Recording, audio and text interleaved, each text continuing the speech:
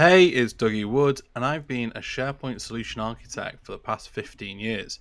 In fact, the past couple of years, I've been recognized as a Microsoft MVP, which is an award given to me for sharing my knowledge with you via this YouTube channel. Now, today I'm going to be talking to you about SharePoint lookup columns and how you can use data that you have in list to tag against your specific documents to help with filtering by, say, customer or other types of data. So let's jump in. So, a good example of this is when you're wanting to look up information from another SharePoint list to use as a column, like a tag essentially, of your documents. Now, I've got a use case, for example, where I've got this project management SharePoint team, and in their documents, what they want to be able to do is tag the relevant client or customer that they are working with on that project. So then they can filter all of their documents by a customer from a centralized list, which is maintained not necessarily by the, the column itself. Um, there's a couple of reasons why you might want to do this. It might be that that list is being used to maintain multiple different areas, document libraries lists. So I'm going to apply it to, for example, my documents library, but I could also apply it to my issue tracker or my project tracker list. Uh, and then I have one list of customer names that I've got a centralized place to maintain. Now, I need to start off by creating my customer list that I'm going to use uh, to look up to. So by clicking on the cog across the top right hand corner, I'm going to click on site contents, and this is just going to show you essentially all the, the areas I could apply this list to. So the documents, um, issue tracker, progress tracker, events list, things like that. So I'm going to click on new and then list. Now there is a whole bunch of different templates that you can choose. Um, say for example, uh, we've got the uh, creating from blank, which basically is just a list format or form, galleries, calendars, or board. I could import, so if I had the data, say the customer data as a spreadsheet, an Excel document, CSV, or an existing list, I can import that from somewhere else. Also, you can see there's a whole bunch of different kind of templated lists. So depending on what it is that you're looking up, will depend how you start on creating this list. But I'm just going to create a blank list. It's just going to be a very simplistic list of customer names. So by clicking uh, clicking on this, it's then going to say, what do I want to call this? So I'm going to call this my customer list. Um, and I wanted to show in the list site navigation on the left hand side. So I'm going to leave this box ticked and then click on create. So this is then going to work its magic in the background. It's going to create me a blank SharePoint list. Um, and then I can add any columns into it. So um, I might want to pull through different things about the customer. Say, for example, um, like their location or something like that. So there's different columns that we can we can choose um, in our uh, SharePoint list, but this isn't necessarily a full demonstration of creating SharePoint lists. Um, so I'm not going to go into all of them, but some of the key ones um, are text, so a single line of text, a choice, whether it's uh, whether let's say for example, is this a um, different types types of clients and choose choose what what are they or what industry are they from? Are they from legal or um, are they from manufacturing or whatever uh, that might be? We've got date and time. Um, we probably wouldn't necessarily use in this case multiple lines of text, which is I say descriptions and things like that. Or we can tag people against it, so it might be who is the uh, account manager um, from our organization which deals with them. Um, and I say there's a couple of things like um, location, images, uh, things like that that we might want to pull through. Yes, no. Are they um, a certain type of customer? Yes or no, um, as like a little checkbox. Um, so I'm just going to say for, for now text, and I'm going to have this to be the location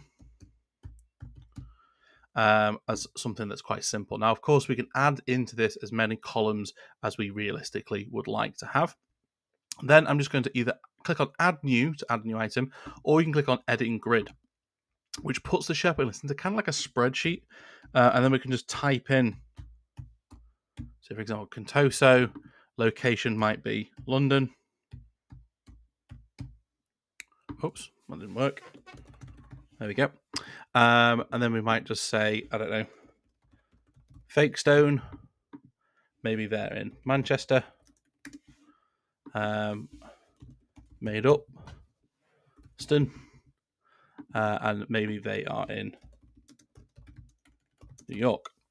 Um, so there we go. Now all I need to do is click on exit grid view, and then I've got my customer list now. So I've got my customer list of data of customer names and their locations.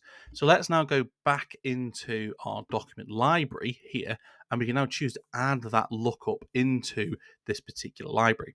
So if I click on add column, and then scroll down, the from second to last here we have this lookup. So this is, uh, I say, make a column from one list become the choice in another list column. So I'm click on next, and then I'm going to call this customer. So this is my customer column, and I've got my type here. So it's a lookup, and um, select a list as a source. So I need to select my customer list, and then select a column from the list above. So these are the different columns which are essentially going to pull through. Um, now I'm just going to select title for now, and I'll show you why in a moment. Um, but you can also choose to say add additional columns from this list. So the title be the name of the customer, but I also want to pull through, for example, the location. So the that additional column that we created, we can also pull that through. So we can use this again for like filtering afterwards. Um, so once I'm happy with that, um, there's a load of other options down here. We don't really necessarily need to know about them.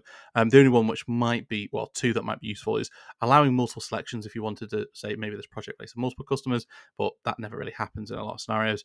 Um, in this case, anyway, uh, or require this column contains information. So you probably would want to do that to make sure that it was flagging, um, and you'll see in a moment. It will basically make all the other um, files and folders which haven't got a customer tagged quite obvious visually. Um, so there we go. Um, so now we've got um, our customer and our customer location. Now all we need to do is update all of these. So again, by selecting this, you can see I've now got my drop down. So I've got Contoso, Fakestone, Made Upston, and then, or if I could want like a, an Excel, I can always just choose just to drag this down. And again, you can see this automatically updating as we're going along. Um, Nice and simple. So click on exit grid view, and there we go. So now we can use this um, as a filter. So say, for example, I'm only interested in Fakestone as a customer, and I want to see all of the kind of projects we're working on with them. I can filter by Fakestone, click on apply, and there we go. We've got all our Fakestone. And in fact, if I wanted to send a link like this to uh, uh, an employee, or if I wanted to come back to this later on, I can even save this as a view. So if I click on the drop down, clicking on Save View As, and I'll call this uh, Fakestone. I could call it Fake Stone Documents or Fake Stone Project or something like that. Um, and then there you go. So now I can jump between my All Documents view, which is all documents, or only going to um, the ones which are, uh, I say, for Fakestone. And, and that applies actually for, for customer location as well. So, say, for example, I was only interested in seeing projects we're working on in Manchester. I can filter that, and there you go. I can then see the projects which are are based in Manchester.